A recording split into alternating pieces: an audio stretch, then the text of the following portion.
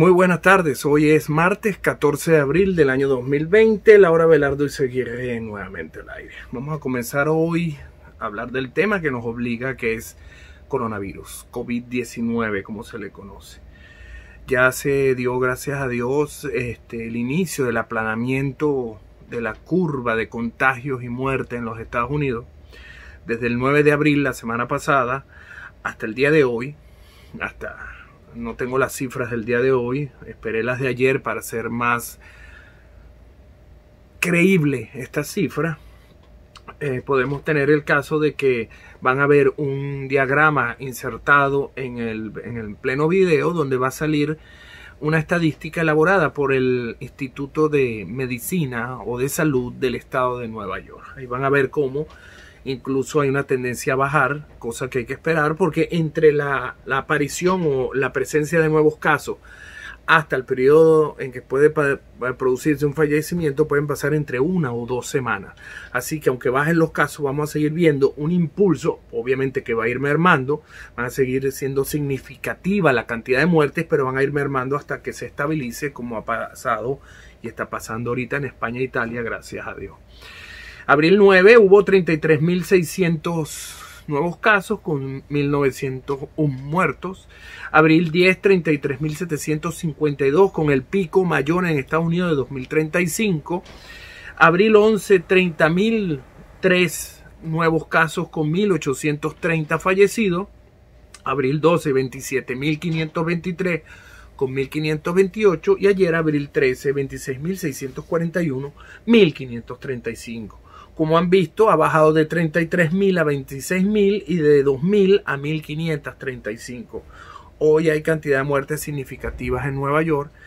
Eh, volvió a como que tener un repunte, pero es como le digo, la, la demora en cumplirse entre el nuevo caso y la mejora eh, cura, como se llama, o muerte, el lapso es variable entre una, dos y hasta tres semanas.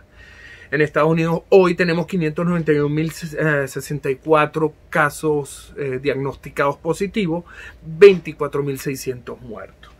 En Estados Unidos es menos los casos de recuperados y no los menciono porque se valoran de una manera distinta a los demás países. En Estados Unidos, que para mí es el único país, uno de los pocos que tiene una, una estadística bastante seria, lo que se hace es esperar esas tres semanas. Simplemente no se dice que porque abandonó o porque mejoró, este, ya se cuenta como recuperado. Por eso aquí, aquí usted ve que, por ejemplo, hay 30 mil casos recuperados, pero hay 275 mil casos que están activos, porque se espera un lapso de tres semanas.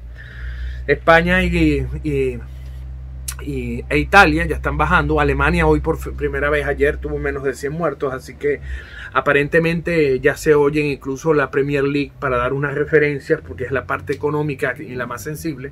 La Premier League ya dijo que el 6 de junio van a empezar los juegos de la Premier League tentativamente sin presencia de espectadores. En Estados Unidos ya se está hablando para el primero de junio algunas actividades y empiezan los campamentos de la National Football League, que aunque en septiembre empieza mucho antes.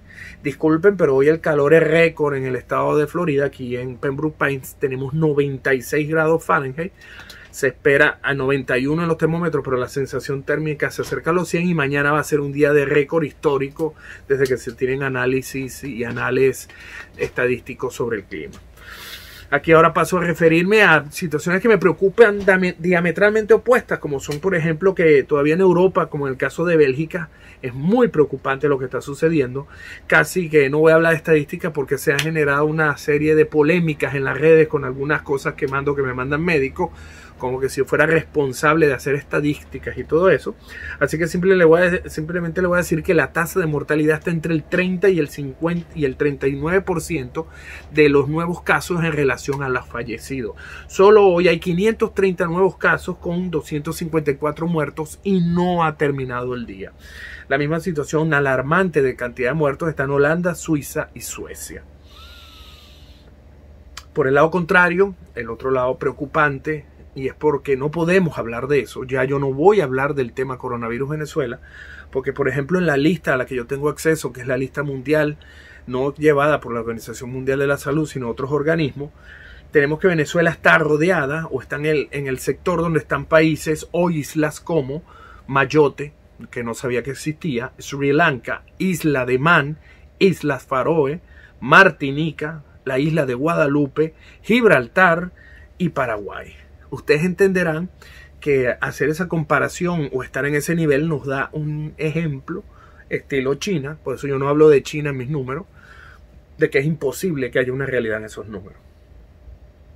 Ah, Maduro esta semana dijo que ya han hecho en tres días 250 mil test y se da lujo de regalar test a otros países y máquinas para hacer pruebas. Eh, mientras tanto, la gente migrante sigue llegando a Venezuela. La gobernadora Adeca, no voy a, ya ni me acuerdo el nombre, Lady, mi Lady, lo que sea, ah, está pidiendo enviar a los venezolanos que están regresando a los cuarteles militares. Y esto demuestra una ilogicidad y una falta de preparación en liderazgo y gerencia política y hasta humana, calidad humana total y absoluta. ¿Cómo la gente que se fue a Venezuela a trabajar a otros países va a ser eh, recibida y eh, almacenada cual pipotes o cajas en, en donde están las Fuerzas Armadas que destruyeron al país? los mismos genocidas que le hicieron irse, los mismos genocidas que son narcotraficantes, que incluso los pueden usar como escudos humanos en el caso de una invasión. Es irresponsable una actitud de alguien que se dice de la oposición. Pero bueno, ¿qué les puedo decir? El dólar a 135 bolívares por dólar. Este, ya el Comando Sur, como lo dije, lo advertí, lo sigo diciendo, y, y estas son las partes donde tengo que aclararlo porque discuto con mucha gente supuestamente pensante en Venezuela. Les reitero que esto es solo labor de patrullaje, ya ha cumplido con la incautación de casi 4.3 toneladas de droga que vienen de Venezuela. Este, hubo 52 incendios forestales en la semana Mucha gente dice que son provocados por el gobierno, etcétera, etcétera. Yo no voy a salir a lucubrar, simplemente menciono los hechos como tal para comparar la situación de un país como Venezuela con otros países que están en plena pandemia y pensando cómo salir de la crisis. Mientras tanto, nuestro líder, Juan Guaidó, nuestro líder, porque lo digo porque mucha gente cree a nivel mundial que es la solución de Venezuela, hablo todavía como venezolano, simplemente nos regala una de sus frases asquerosas que lo que hacen es deprimir, que dice que no nos podemos acostumbrar a la tragedia. Señor Guaidó, nos acostumbramos, o la gente se acostumbra en Venezuela, porque este es el primero que no hace nada. Ya van a cumplirse casi un año y seis meses de que usted se juramentó, viajó por el mundo y ha hecho de todo y Venezuela está hoy peor. Maduro sigue siendo presidente, genocida, dictador. Padrino López sigue siendo el jefe del cartel operativo, Diosdado se sigue llegando a los bolsillos, Tarek El Aizami sigue trayendo, trayendo árabes y seguimos eh, sacando oro y viviendo en una Venezuela de dos realidades. O sea que realmente no se cambió, hoy estamos peor que hace un año, que hace tres años, que hace cinco años, que hace quince años, incluso hace más de 22 años cuando llegó el asesino y traidor de Hugo Chávez al gobierno. Mientras tanto, el grupo de Puebla, sustituto al Foro Sao Paulo, sigue haciendo de la suya. México está mandando gasolina de 95 octanos en dos tanqueros. Una empresa que se llama Yomadi, que ya está siendo investigada por Estados Unidos, donde hay accionistas militares venezolanos. Hay tres empresas que están eh, vigilando. Y Argentina ya empezó también a hablar de que necesita mandar y va a apoyar a Nicolás Maduro. En este contexto nos damos cuenta de que en Venezuela estamos paralizados en el tiempo, en una situación en la cual el gobierno dice que ha tenido éxito, que ha vencido el coronavirus, que no pasa nada. Gente de la oposición o pensante o ni hijo, como lo quieran llamar, dicen que entre todo lo malo el gobierno con estas medidas y la ausencia de gasolina logró detener el virus. Ya yo no tengo aquí nada que opinar. Realmente gente que no es chavista, ni madurista, ni opositora, ni de Guaidó, gente que simplemente tiene cierta capacidad de inteligencia, que trabaja en, algunos, en algunas empresas de éxito o trabajan por su cuenta, o son profesionales y me dicen esas barbaridades. Incluso una me mencionó de que, bueno, que ahora con más razón va a haber elecciones en abril. O sea, ya, ya realmente no tiene sentido. Y entonces en este mare en el cual, por ejemplo, yo ayer informaba lo de Chernobyl, el incendio que se acerca al sarcófago del reactor número 4, que incluso disparó a 16 por ciento en temperatura, a los residuos nucleares que tardan 100 o 200 años en mermar y que puede generar lo que generó Chernobyl en el 86, que es una fusión nuclear, que es la temperatura incontrolable y una, una fusión nuclear. Ya, eso es para que usted lo investigue, la gravedad de esa situación.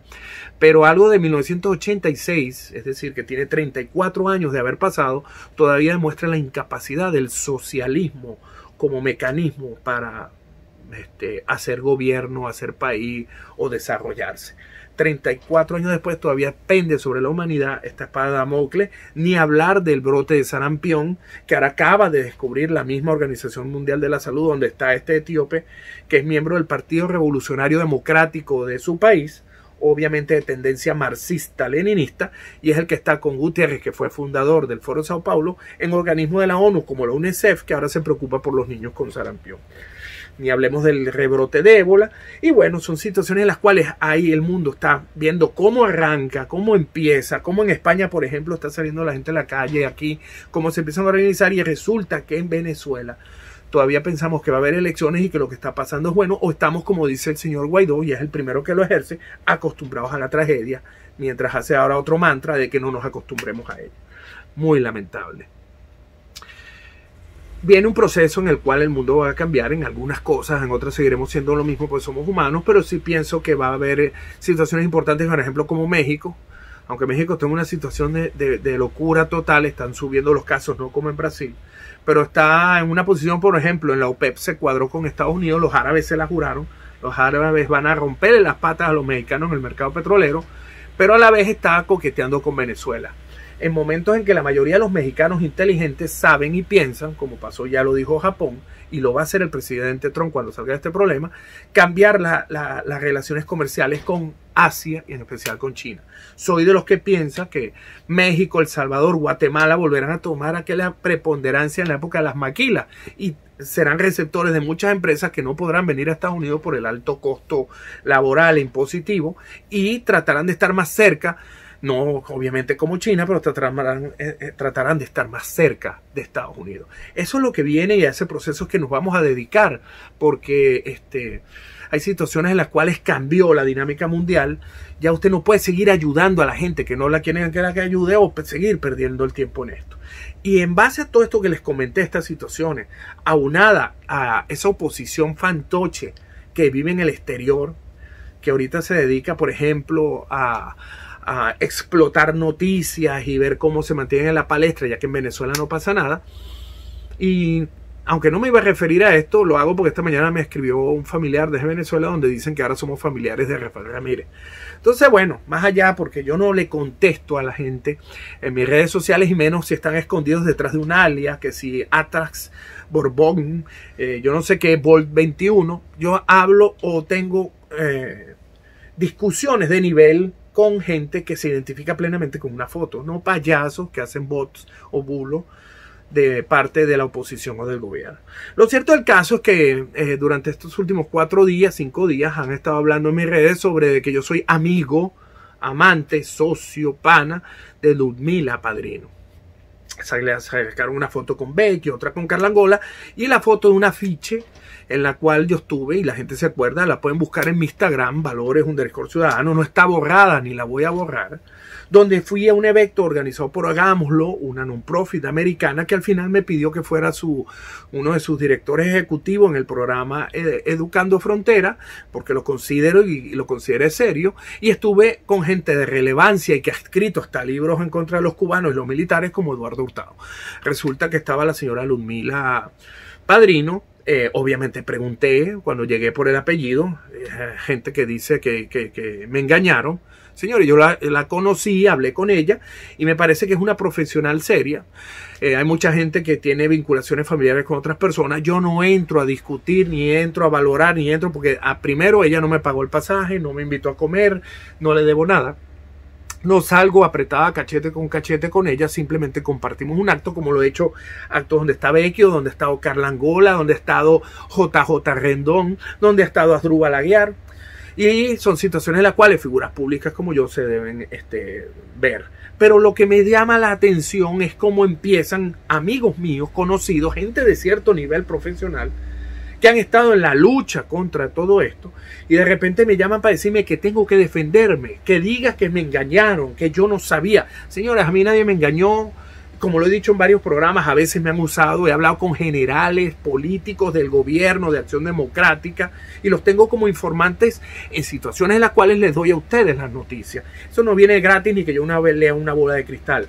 Tengo amigos y tengo conocidos a lo largo de casi 30 años que incluso lo he dicho en programas llegaron a ser directores, jefe de la fiscalía, magistrados, cortes, etcétera. Y todavía me dan información y todavía los considero mis amigos, aunque estén en el, en el camino de la oposición de Guaidó o estén en el camino del régimen dictatorial del señor Nicolás Maduro. ¿Y por qué he hecho todo este cuento? Porque realmente yo no me voy a excusar, como les dije, yo no tengo nada que ocultar, ahí lo pueden buscar en mi Instagram. Y sí me molestó esa situación en la cual, por ejemplo, gente que nunca me llamó para darme el pésame por mi papá, por la muerte de mi papá en septiembre pasado, que sabían que había muerto mi papá porque salió en todas las redes y gente que me siguió, no me conocía y otros que todavía se enteraron después, ni siquiera llamaron para ver y ahorita me llaman es para ver que me están atacando y con aquel morbo de que yo les cuente cuál es la noticia y qué pasó. A mí no me interesa porque yo no como de ninguno de ellos. Ninguno de estos supuestos líderes, entre ellos, eh, gente que sale en las redes y políticos, analistas, genios de la vaina, que en diciembre del 2015 compararon al señor Vladimir Padrino casi que con Simón Bolívar, San Martín o Napoleón, porque por él fue que se salvó la democracia, por aquella famosa leyenda urbana que él se le paró a Diosdado en una reunión con una pistola y le dijo, hay que respetar los resultados de las elecciones. Y más de uno dijo la figura del general. Wolfgang al renacido. La grandeza de Bolívar pisa de nuevo con el general Padrino López. Búsquenlo Busquen uno de estos payasos que sale hablando ahorita de la señora Ludmila Padrino. Búsquenlo, los buscan porque son famosísimos en las redes. Búsquenlo y busquen opinión, elecciones, Asamblea Nacional 2015. Para que usted vea cómo ese 6, 7, 8, 9 de febrero dijeron que la patria se salvó y la democracia gracias al general que al final fue digno y hombre como fue Vladimir Padrino López. Por cierto, una resaca de todos estos payasitos fue los que hablaron el 30 de abril, el primero de mayo, diciendo de que el general Padrino se había redimido porque debía haber dado el golpe y todavía está impectore, como dicen por ahí varios analistas, para ser el futuro presidente de Venezuela porque es el hombre que, que se necesita. Así que, ¿qué les puedo decir? Estamos rebobinando, lo que pasa es que la gente no se acuerda, la gente es morbosa. Y como le digo, hay grupitos que se dedican a hacer este tipo de trabajo de preguntar y decir, y como uno no contesta, entonces terminan diciendo que es que no sé qué tiene que ver, pues no lo leí, yo no pierdo mi tiempo porque hasta mis propios seguidores son los que me defienden cuando dicen que Rafael Ramírez es familiar nuestro. Mi hermano me llamó y me dijo, hermano, dile que me mande 100 dólares porque estoy comiendo una vez al día. Porque eso es otra. A diferencia de todos estos analistas políticos que viajan por el mundo y tienen casa y todo, yo simplemente soy un trabajador que hoy está esperando el cheque del presidente Trump con una bancarrota capítulo 7 y que bueno, este, llevo la vida lo más modesta que puedo en base a las pocas cosas que tengo producto de mi trabajo. Imagínense cómo está mi hermano en Venezuela. Pero bueno, eso era una aclaratoria simplemente, más que todo para mi hermano. Espero que lo disfrutes, Iván, porque realmente esa es parte de lo que yo digo que tiene hundida a Venezuela en la anomia y en la destrucción, que no es de Carlos Andrés, que no es de Maduro, que no es de Chávez, que no es ni siquiera los Castro está dentro de nosotros. Y como decía aquella, ella, y todavía lo dice aquella estrofa del himno, el egoísmo que otra vez triunfó. Ese vil egoísmo sigue y existe hoy más fuerte que nunca.